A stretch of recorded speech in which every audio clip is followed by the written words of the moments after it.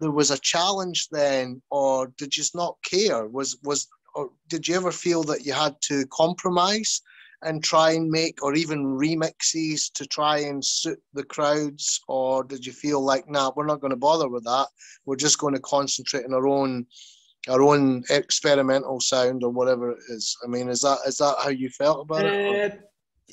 Yeah, there was a there was a, a, a time we were on Tommy Boy Records in the United States, who, who were like a, a hip hop label, really, um, and they thought it was important to get uh, the tunes, the singles mixed for their clubs.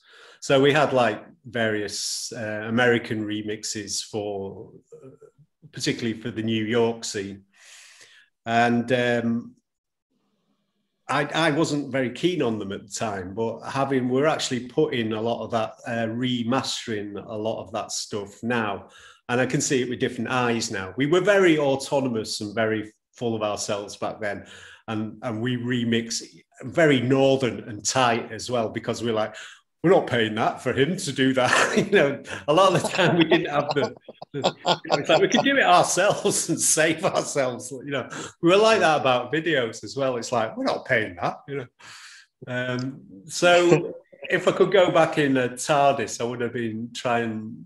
I would have tried to be a bit more engaged with the world. You know, we were young and green and kind of um, trying to hang on to the um, self empowerment that the rave thing gave to us. You know, all, all of a sudden we we didn't feel like we could be talked to about what we did because because it was that new. You know, it was a, it was a new kind of music. So there was a freedom in that, and we we tried to protect that freedom. But I mean, that's that's admirable. I mean, I mean, but I mean, from from the perspective of, you know, I mean, I've always been curious because there's this commerciality with, with, with certain acts that, if you take, for example, the Prodigy that came out and they did the, I mean, way back before any of the, the, the major success. They, they were in the rave scene, they were doing their thing. They, yeah, they yeah, we played a lot with them. Yeah, yeah, and, and they had the kind of sound, but then they kind of flipped a little bit. And I don't know whether it was a deliberate flip or whether it was an accident, but yeah. they came out and then they suddenly went mainstream. Yeah. And and then it kind of felt like they, they deliberately tried to you know that way where you go to a studio let's that that formula work let's try and repeat that formula type thing yeah. and, and and i felt that 808 state have never done that. Yeah well that that's true. Uh, i mean i can feel it felt at times like we we were trying to adopt certain mindsets you know? Uh, once uh, we become a three piece like um, martin left in 1991 and uh, it became me Darren and Andrew.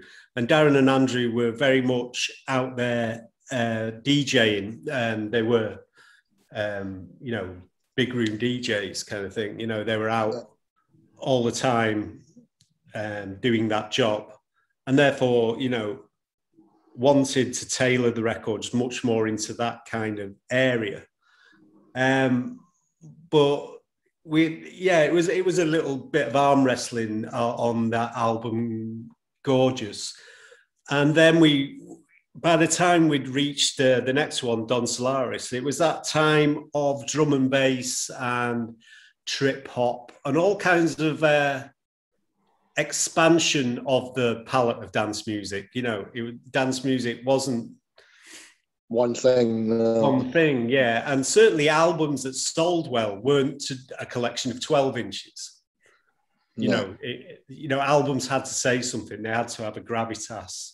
And uh, I would say, out of all the albums that we did, that Don Solaris is uh, my my the one I'm proud of uh, most because it, it covers so much ground. It's almost kind of got a spiritual quality to that record that um, that was lived in. Uh, people say, well, why can't you just repeat that? And it's like, you couldn't repeat it because he was the people that we were that summer when we did it. You know, it was kind of, imbued with um, the humanity of that journey that we're on. You know, people forget that with electronic music. You just think you can print it like wallpaper.